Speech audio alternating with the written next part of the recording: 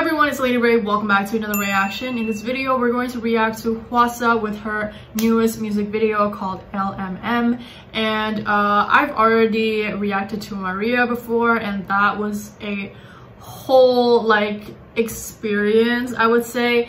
And I have listened to the whole album. Like, it's just such a masterpiece. I just love how unique and powerful and special she is. And uh, considering that after watching the teaser, I have a feeling this is gonna be something that's very like in touch with you know her emotion and more sensual and more just like raw. Not gonna lie i'm like really exhausted right now. I really need something to just kind of like relax my soul and my mind. And today's comment and instagram shout out goes to these two lovely people right here thank you so much for connecting with me. Make sure you give this video a like and also subscribe and down below hit the bell. And without further ado let's get into it where is this place? This is like so beautiful. Flowers do bloom even in rain falling down. Wow. I'm already like getting a sense of hurt and growth. Oh, I love how this is already like so relaxing for me. Oh my god. She's so beautiful. I love this song in the album by the way and the lyric is pretty powerful. What were the things that were like flying? Oh, those are arrows. Okay. Yes, yes, those are arrows. I love her ya ya ya's. Yes. Wow, there's so many arrows. Whoa. All right. So that's definitely very symbolic, I would assume. Ooh, I like the beat, yes.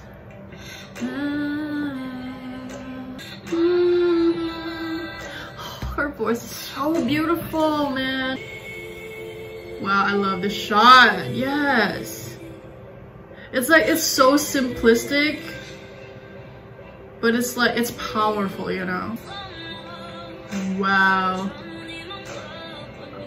Whoever took the shots, like, you're insane. Wow, yes, yes, I've seen the scene. So pretty. I don't know why I have like a, like a feeling of sadness for her. Like, you know, almost like a feeling of wanting to cry. Oh, now she's the one shooting the arrow. Interesting.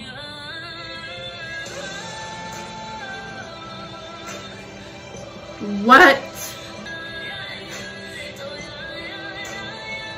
My god. Wow, that was some powerful shit.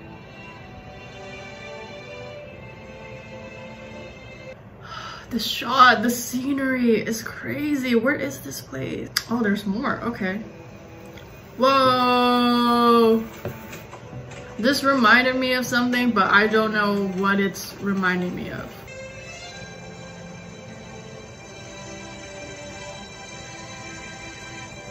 Wow. Yo, I'm like, like I have goosebumps, you know? It's so powerful. Wow, all of these people involved hats off to all of you man.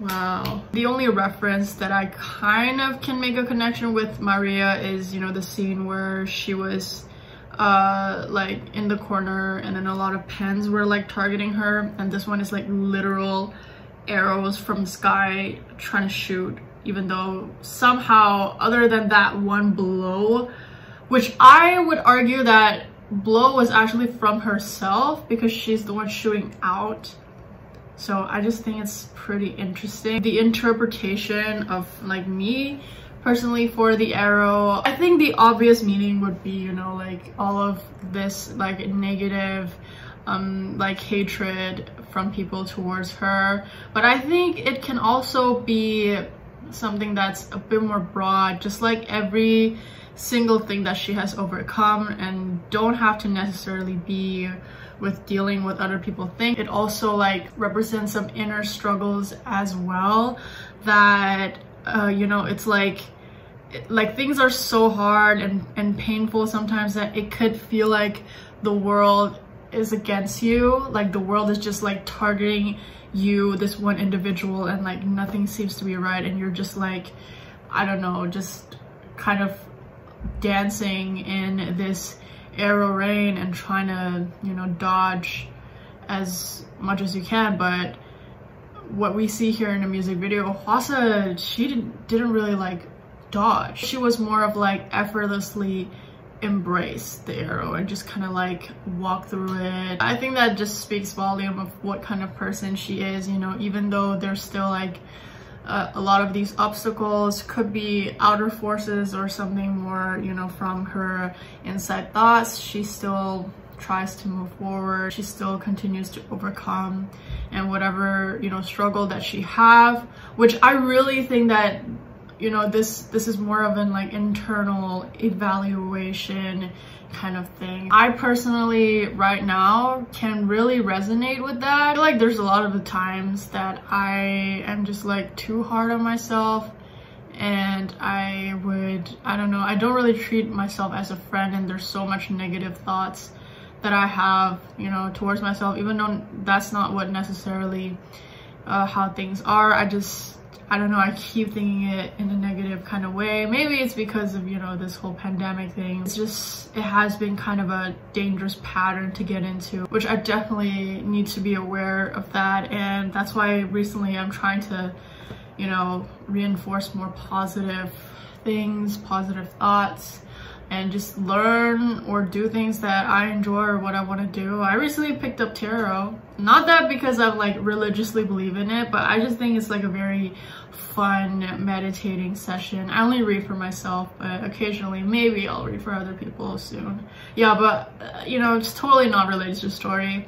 Um, this is definitely a very powerful piece of song. I just cannot emphasize how like shaken I was inside. I'm just, I'm so proud of, you know, what she has achieved, even though, you know, she's been through a lot. And yeah, I definitely look up to her. She is one of a kind and she is definitely one of my goddesses that I, you know, from time to time uh, kind of like think about and to just like keep me in the right path. Alright, and that is all I have for you guys. Thank you so much for watching this video to the end. Make sure you give this video a like and also subscribe and down below hit the bell. And I'll see you in the next video. Bye!